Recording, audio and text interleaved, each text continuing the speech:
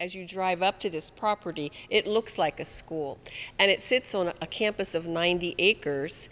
The old Bassel Research and Development Building, just off Appleton Road, is now home to Cecil County School of Technology.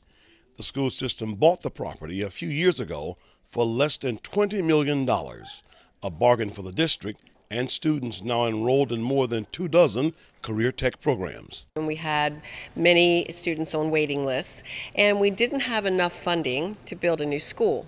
It was right during the economic downturn.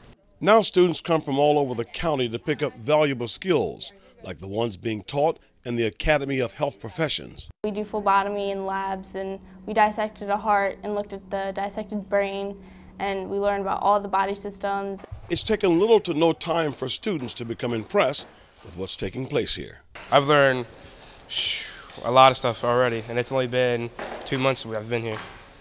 You glad this program is in place? Yes, sir. Very good.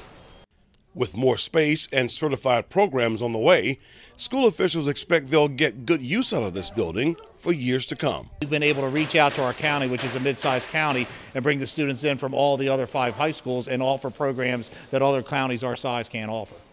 There's already talk of using that extra space for a possible sixth Cecil County High School.